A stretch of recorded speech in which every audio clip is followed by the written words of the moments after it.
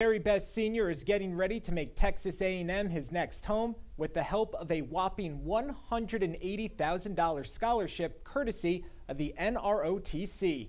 Joining us now from the newsroom is Damian Bartonik, who got the chance to meet the lucky scholar. Damian, what can you tell us? Well, Bert, that student's name is Brayden Clark, and what was special about today was that he was presented the scholarship in front of his Veribest community.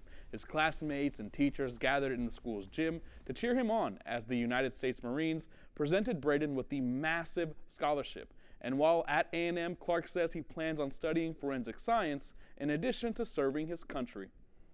It's, a crazy experience and it's a crazy feeling because it's a huge weight off of my shoulders. I don't really have to think about a whole lot of things that could happen when I can just do what I already have. I'm sure our meteorologist Britt Musall is stoked, but hey, Clark also told me that he plans to move to College Station right after he crosses that stage in May, marking his last day as a Veribest Falcon.